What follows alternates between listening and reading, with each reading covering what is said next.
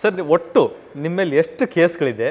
ಯಾವ ಕೋರ್ಟಿಂದ ಯಾವ ಕೋರ್ಟ್ವರೆಗಿದೆ ಸರ್? ಅಯ್ಯಯ್ಯೋ ಆ ಕೇಸು ಈಗ ಇವತ್ತು ಮೊನ್ನೆ ಒಂದು ಹಲ್ಸೂರು ಗೇಟ್ನವರು ಬಂದರು. ಏನಪ್ಪ?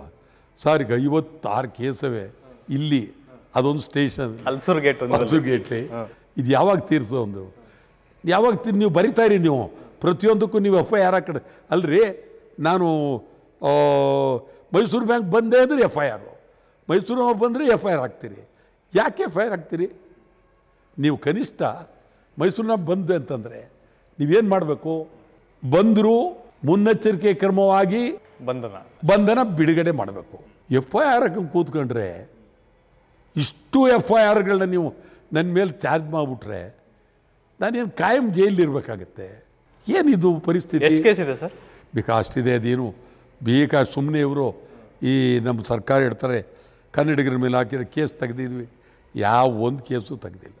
ಸರ್ ಈ ಎಂ ಇ ಎಸ್ ಪುಂಡಾಟಿಕೆ ಬಗ್ಗೆ ಏನು ಹೇಳ್ತೀರಾ ಸರ್? ಇವತ್ತಿಗೂ ಬೆಳಗಾವಿಯಲ್ಲಿ ಇವತ್ತಿಗೂ ಹೌದು ಈಗ ಏನಾಗಿದೆ ಅಂದರೆ ಸರ್ಕಾರ ಭದ್ರ ಇಲ್ಲ.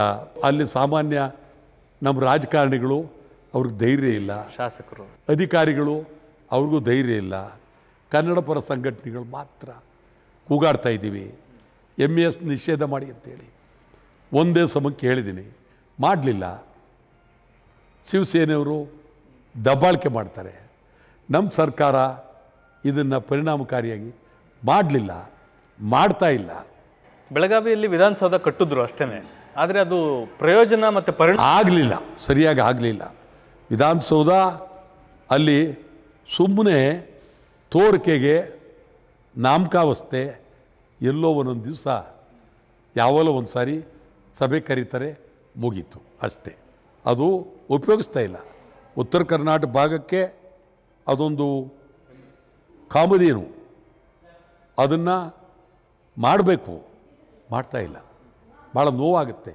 ನಾನ್ನೂರು ಕೋಟಿ ಖರ್ಚು ಮಾಡಿ ಕಟ್ಟಿರ್ತಕ್ಕಂಥ ಕಟ್ಟಡ, ಇವತ್ತು ರಿಪೇರಿಗೆ ಇನ್ನೂರು ಕೋಟಿ ಖರ್ಚು ಮಾಡಬೇಕೇನೋ ಕಾರಣ ಏನು? ಇವ್ರು ಯಾರೂ ಇಲ್ಲ. ಈ ಪರಿಸ್ಥಿತಿ ನಿರ್ಮಾಣ ಆಗಿದೆ. ಇವ್ರಿಗೆ ಬದ್ಧತೆ ಇಲ್ಲ. ಅಲ್ಲ ಸರ್, ಈಗ ಮರಾಠ ನಿಗಮ ಮಾಡಿ ಅದಕ್ಕೊಂದು ಐವತ್ತು ಕೋಟಿ. ಅಯ್ಯಯ್ಯೋ, ಅದಕ್ಕೆ ಬಂದೇ ಮಾಡಿದ್ವಲ್ಲ ಕರ್ನಾಟಕ ಬಂದು. ಕರ್ನಾಟಕ ಬಂದು ಕರೆದು ಮರಾಠ ನಿಗಮ ಮಾಡೋಕ್ಕೆ ಕೂಡ್ದು ಅಂತ ಹೇಳ್ದು, ಅವ್ರು ಯಡಿಯೂರಪ್ಪ ಚುನಾವಣೆ ನಿಲ್ಲಬೇಕಾಗಿತ್ತಲ್ಲಿ ಅವ್ರ ಮಗ ಬಸವ ಕಲ್ಯಾಣದಲ್ಲಿ. ಮರಾಠರು ಜಾಸ್ತಿ, ಅದಕ್ಕೆ ಕೊಟ್ಟರು ಅದನ್ನೇ ನಾವು ವಿರೋಧ ಮಾಡಿ ಬಂದು ಕರೆ ಕೊಟ್ಟದ್ದು. ಇದು ಬೇಕಾದಷ್ಟಿದೆ ನಿಮ್ಮ ಪ್ರಶ್ನೆಗಳು. ಈ ಒಂದು ಚುಟ್ಕ ಚುಟ್ಕ ಹೇಳೋಕ್ಕಾಗಲ್ಲ. ಇದಕ್ಕೆ ಬೇಕಾದಷ್ಟಿದೆ.